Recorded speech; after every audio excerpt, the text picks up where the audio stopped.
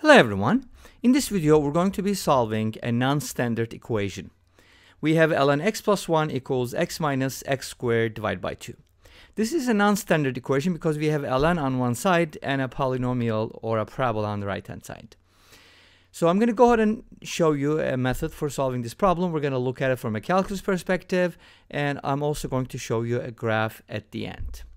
So to be able to solve this problem we're going to use what is called Maclaurin series or infinite polynomials. And we're going to be doing some fun stuff with derivatives. So first of all, let's go ahead and write the left-hand side as f of x. So f of x equals ln x plus 1. And now here's what I want to do.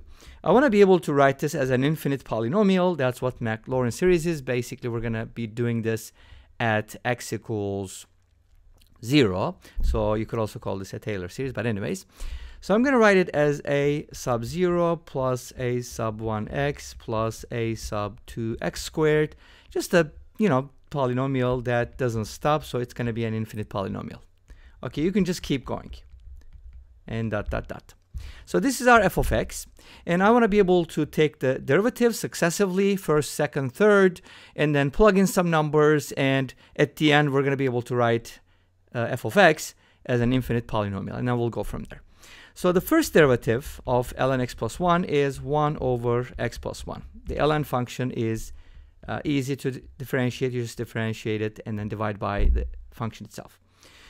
The derivative of the, the infinite polynomial is uh, a sub 0 is a constant, so its derivative is 0. The derivative of a sub 1x is just going to be a sub 1. And then the derivative of x squared is 2x, but multiply that by a sub 2, you're going to get 2a sub, a sub 2 times x, or we could just say a2, I guess.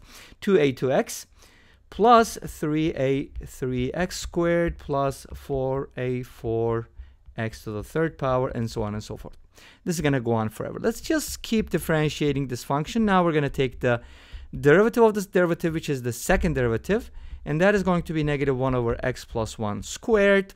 You basically just uh, increase the power at the bottom and then, you know, negate the sign and so on and so forth. Of course, in the next level, we're going to have a 2 in the numerator. The derivative of the constant is always 0, so just totally ignore it. The derivative of 2a2x is just 2a2, and then x squared is 2x, multiplied that by 3, so you get 6a3x and then 12a4x squared and so on and so forth. And then let's do the derivative one more time. That's going to be the third derivative, f triple prime. And the derivative of this function is just going to be 2 over x plus 1 to the third power. And you can generalize this to the nth derivative by using an n um, factorial in the numerator, and the bottom is just going to be n, and you know so on and so forth. And of course, you have to have a factor like negative 1 to the power n plus 1 so that the signs can alternate. Again, the derivative of this constant is 0. The derivative of this is 6a3. And then we get 24a 4x, so on and so forth. And notice that the 6 comes from 3 times 2, the 24 comes from 4 times 3 times 2. So it's kind of like factorials. Make sense? And the 2 is, of course, 2 factorial. Now, we got the function itself and the first, second, and third derivatives. Now, what I'm going to do next is basically replace x with 0. The reason why we go with the ln uh, of x plus 1 is it's good because you can replace x with 0. If you had ln x, you couldn't do that because it's not defined. So let's go ahead and do the following replacements. f of 0, I'm going to do it ln x plus 1. So it's going to be ln 1, which is now, how do you find f of 0 here? Everything will be 0 uh, with x, so you're going to end up with a sub 0, which is a 0. So it's going to be 0 because ln 1 is 0. So from here we get a sub 0 is 0. And if you take the first derivative and replace x with 0, first on the left-hand side, you're going to get 1. And on the right-hand side, you're going to get a sub 1. So 1 equals a sub 1. That gives you a sub 1. And in the second derivative, replace x with 0 on both sides. You're going to get negative 1 from the left-hand side. And here, you're going to get 2a2. 2a2 equals, and you're getting negative 1. So from here, a sub 2 is going to be negative 1 half. You'll get a pattern uh, really soon. Let's go ahead and do the third one. and then hopefully you'll see you'll get to see the pattern.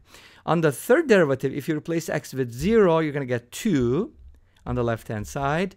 And on the right hand side in the infinite polynomial, this is going to be the answer because uh, x will be 0 everywhere. So 6a3. And from here, a sub 3 is going to be 1 third. So let's go ahead and take a look at these numbers. We have 0, forget about it, that there's no constant. Uh, a sub 1 is going to be the coefficient of x is 1, and then we have the 1 half, and then we have the 1 third. So it's going to look like this. ln x plus 1, which is also f of x, can be now written as a sub 1 is, a sub 0 is 0, I'm sorry. And then a sub 1 x, remember a sub 1 is 1, so it's just going to be x, and then you're going to get x squared over 2, and then you're going to get x cubed over 3, and then minus x to the fourth over 4, x to the fifth plus uh, over 5, so on and so forth. It's just going to go on forever. But guess what? We don't really need that much. This is good enough. So let's go ahead and take a look at how we can use this to solve the problem. Remember the original equation gave us ln x sub 1, that's what am I talking about? ln x plus 1 equals x minus x squared over 2. So I'm going to go ahead and replace ln x plus 1 with x minus x squared over 2 because that's what's given in the original problem. And the right hand side, remember, is an infinite polynomial, right? So we have to pretty much write the, all, all the terms, dot, dot, dot. But notice that we have the x minus x squared over 2. That's actually the motivation behind this problem, by the way. So we're going to go ahead and do the following. We're going to simplify this. These two cancel out, these two cancel out, leaving us with a 0, a giant 0 on the left-hand side, and a giant infinite polynomial on the right-hand side. So we can write it like this, x cubed over 3 minus x to the fourth over 4 plus x to the fifth over 5 minus x to the sixth over 6, so on and so forth. You get the idea, right? Okay, it goes on like this, and but that's equal to 0. So here's what I can do.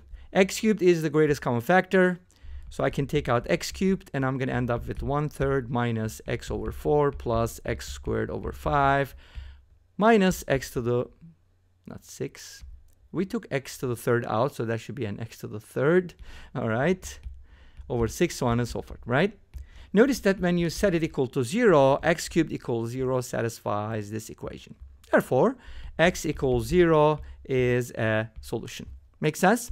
Now here is what we're going to do. We're going to go ahead and check that in the original problem to make sure it works. And then we'll do a little bit of calculus.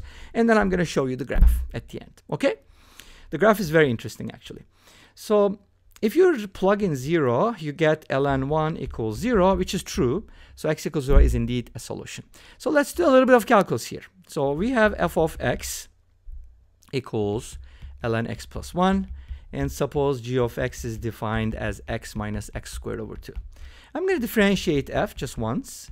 And remember, we already know this. It's 1 over x plus 1, right? I don't know why this came up. Oh, okay, disappeared. And I'm going to differentiate g as well. And sorry for my sloppy writing. I guess I'm kind of rushing through this. Okay, take my time, slow down. Okay, what's the derivative of x minus x squared over 2? It is 1 minus the derivative of x squared is 2x, but if you divide by 2, constant stays the same, you get x. Awesome. What does this mean? This means that if you replace x with 0 in both of these, you get 1 and you get 1, which means they have a common tangent at that point. What is that supposed to mean? It means that there's a tangent that is tangent to both. There's a line, straight line, that is tangent to both of these functions. Does that mean they're tangent? Not necessarily. Let's go ahead and take a look at some graphs and hopefully it'll clarify some of the issues. So you can see these two graphs here. Notice that the pink one, I, believe it's pink, right? I don't know, it looks like pink. Anyways, the pink one uh, crosses the blue one, right?